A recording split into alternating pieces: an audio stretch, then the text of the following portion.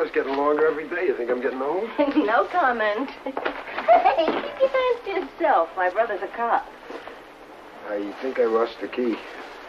How could I be married to such a dumbhead for 186 years, huh? Just luck, I guess. oh, boy.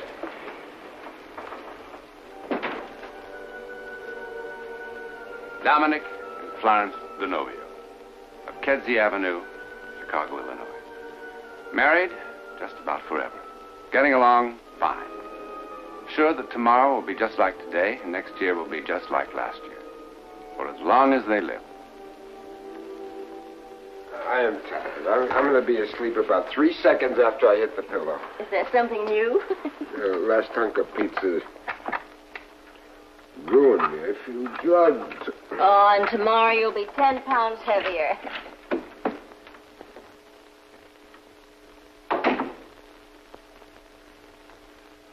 tomorrow. The wonder, sometimes terror of life, is that we can only suppose what the next day, or the next hour, or the next moment will bring. Creating our own reality out of the immense unknown. We have built stone cities, laced the night with millions of electric lights. Yet even here, in just such a city, a man moves unknowingly toward the edge of a cliff that falls off forever. There's nothing that I could possibly tell you about this psychic occurrence that would prepare you for its fantastic end.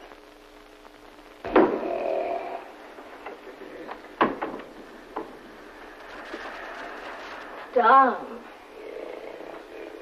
All right, Mr. Cyclone. Come on, on your tummy, friend. Ah, Snoring again? like the loudest sawmill I ever heard. I'm sorry. I always feel like such a rat when I have to wake you.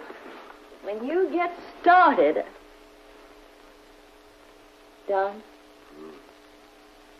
Oh, my good boy.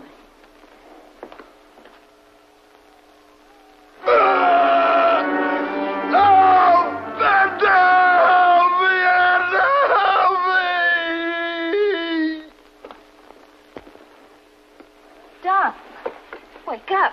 Come on, wake up, Don. What happened? You had a nightmare. No. It's Florence, I wasn't sleeping. I was lying here on my side, telling myself that next time I dozed off, I wasn't going to snore.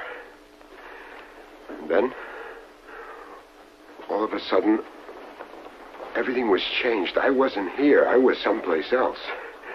It was terrible. It couldn't have been very terrible. You were with Edna. Who?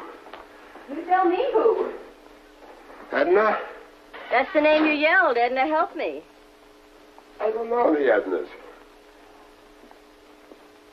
Cross your heart and hope to die. Oh, come on. Here I am, trying to make myself look at least like Cleopatra. All the time, you're dreaming about Edna.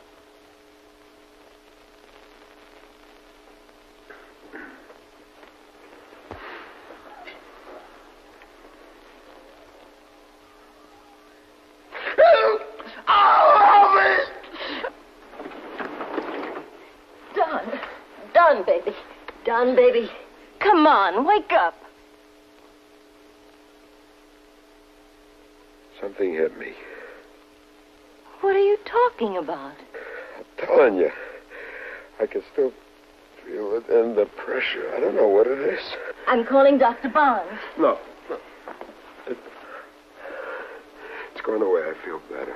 I still want him to be here. Don't get him out of bed. I'll be all right.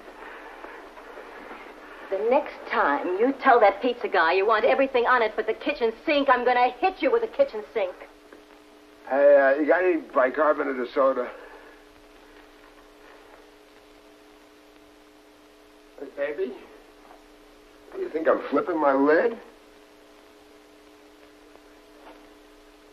Hey, did you see what they uh, what they put in that pizza? Huh?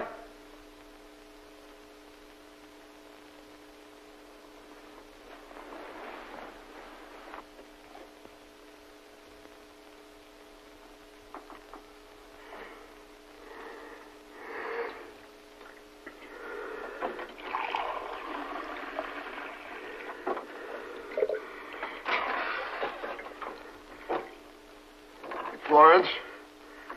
Where the thermometer is, I must be coming down with something. My head is so hot, it feels like I got ten hangovers all at once.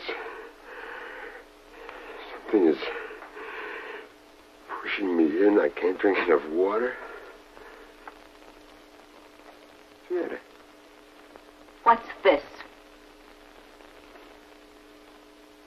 Hardly read it. It's your writing. Edna. I'm writing this to tell you if you don't find me in time, that. Hey. Read the rest. It gets better. If you don't find me in time, I love you very much, and only you. No jokes today, huh? I said it was your handwriting. Well, why would I write a crazy thing like that? It was on your night table. What did I do? Write in my sleep or something? Well, how did it get there? I don't, I don't know how it got there. Well, I hope Edna's your type. Old and fat. Why did you do that? Why did you waste that water?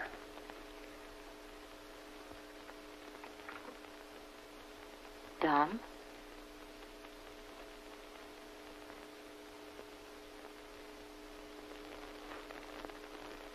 Why did I grab you like that?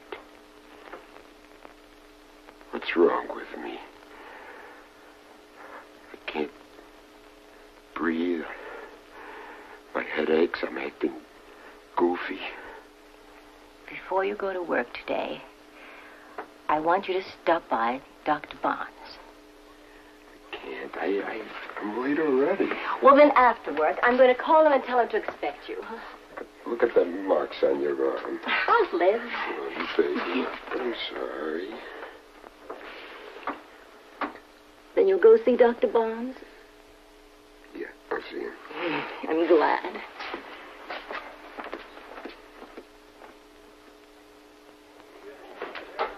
Morning, Mr. Denovio.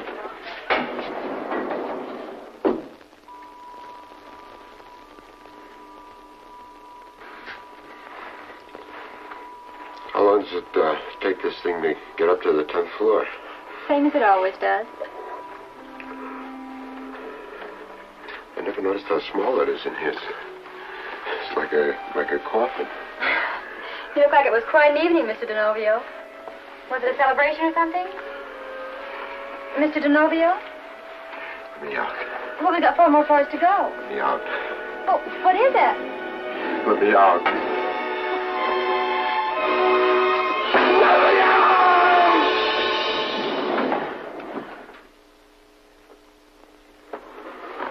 Mr. Denovio?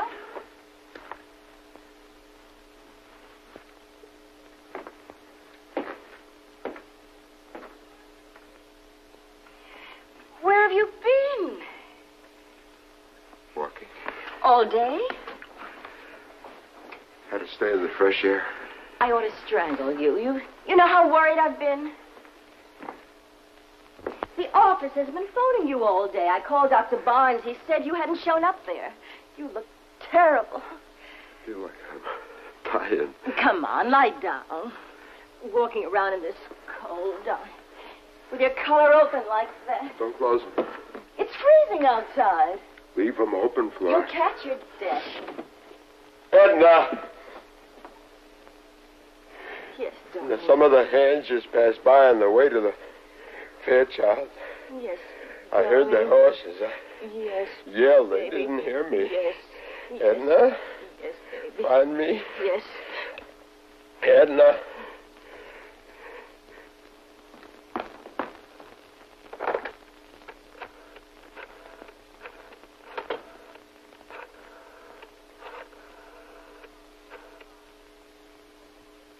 Dr. Barnes. He's home now. Edna, I, I can't oh, hold out, Edna. You. I.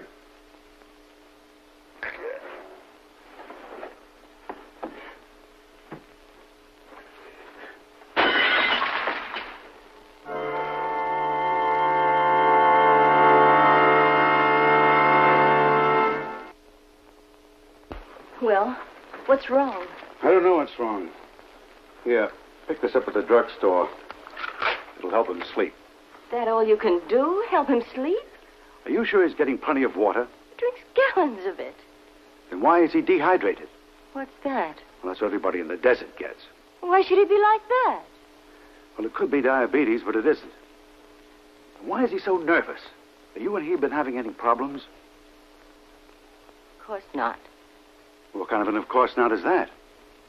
Dominic's like being married to a nice, gentle elephant. Except, who's Edna? Edna? That's the name he yelled. He wrote it down. In his sleep, he talks about horses and nobody finding him, and I don't know what else. Well, maybe he's leading a double life and is catching up with him. Now, he'll be okay. If I say he's picked up a fancy virus that's going around, will that make you feel better? He'll be fine. I'll drop in tomorrow. Oh, thank you, Dr. Barnes.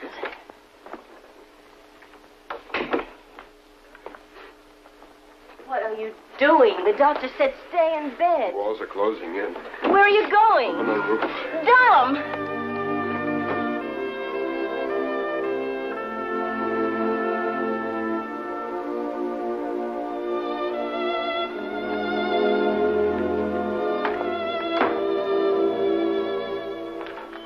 When are you coming down?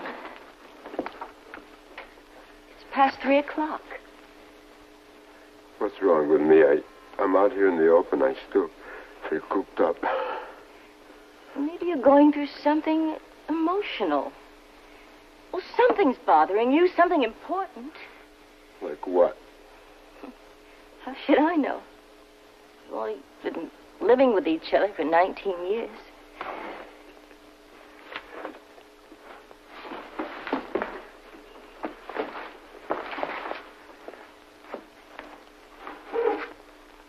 Dom, is it about us? I mean me? What? You just don't pull a name out of a hat. Edna, save me. Edna, save me. Edna, oh, save come me. Come on. Save you from what? Me? Am I smothering you?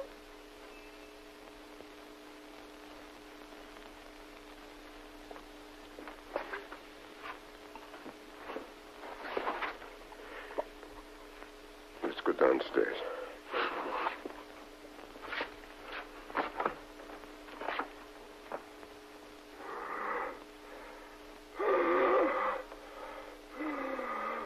Dom?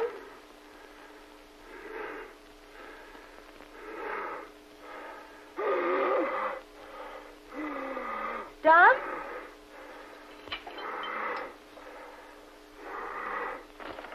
What's the matter? What is it? What are you doing? Don, come on. Snap out of it. Edna getting weaker. Not much longer.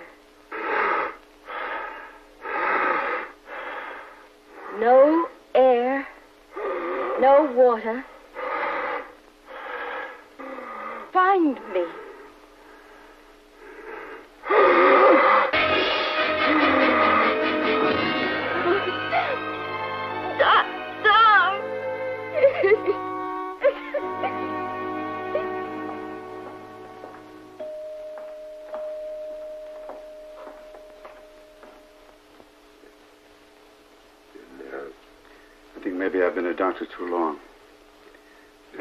Never like this before. See? If they come by in the daylight, Well, We have to have some more tests. but how is he? No better. Haven't you any idea what it is?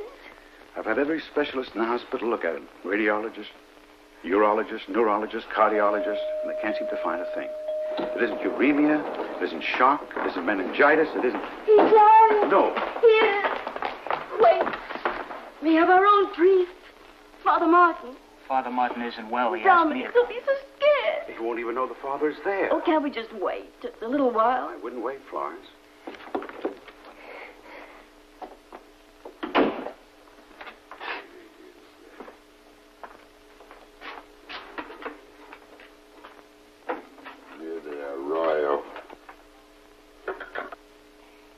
Die. He's dying. How can a perfectly healthy man be dying of thirst and suffocation in the middle of Chicago? He's dying. Spurgisni domine solo and vol vobisme, There's a royal. miserere mei Deus. Edna. Finally. Sicut erat in principio et nunc semper in saecula saeculorum. Go down the hog patch. Near the freight hole. Adjutorium nostrum nomine Domini. Edna, find me. Find me. He's delirious. I haven't been able to give him confession, of course, but I've anointed him and given him conditional absolution. Father, I'm sorry I lost my temper like that. I understand. Father Martin didn't tell me that your husband was from the West. He isn't. Well, he must be. Why do you say that, Father? Well, I studied at a seminary in Arizona. I haven't heard cowhand words like arroyo and hog camp and freight hole in a long time. Also, his accent's pure Western.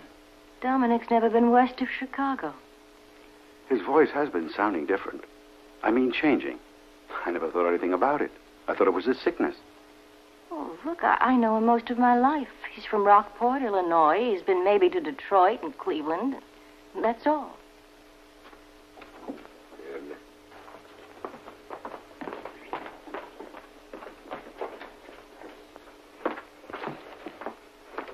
Edna. Edna, get on the phone and uh, call that lawyer Sam Harkness in Reno. Tell him to get out of here. I got some work for him. Hi, Sam. How's the ambulance chasing business? Sam, I, I can't hold out much longer.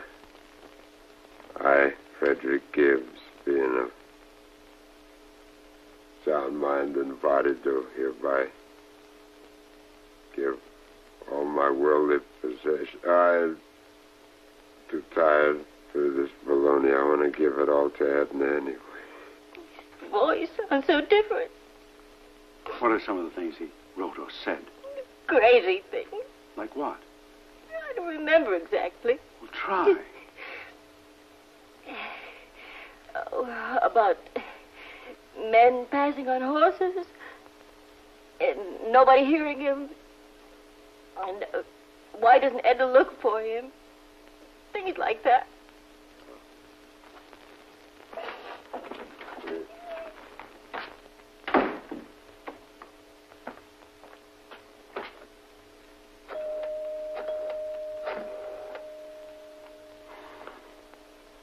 Long distance?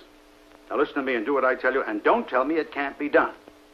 See if there's a man in Reno, Nevada named Sam Harker or Harkness or something like that. Now, he might be a lawyer. That's all I know. That's all I know. Now, come on. I'm out here, Sam. Isn't he back here? No, he isn't back yet. The wanderer has not returned. I'm beginning not to care one way or another. Want a drink? No, thanks. Edna, Now, don't start pleading his case. He's done this 20 times before. He's like a two-year-old. Gets mad, goes wandering off, and three days pass without so much as a hail or farewell. Edna, you're going to think I'm going loco for sure. About 20 minutes ago, I got the craziest phone call From home. from a doctor in Chicago. Now, you said before that Fred got sore and went out walking. Hasn't stopped, apparently. Well, is there someplace on the ranch where he could have fallen, like a, like an abandoned well? There's no abandoned well on our land. Well, it sounded crazy. There's a mine shaft. We were always going to find silver, but didn't. Could Fred have fallen in by accident? I don't know. We've talked about boarding it up. I suppose at night, if someone got careless. Edna, let's look there. But how could Fred... I don't know how, but let's look, huh?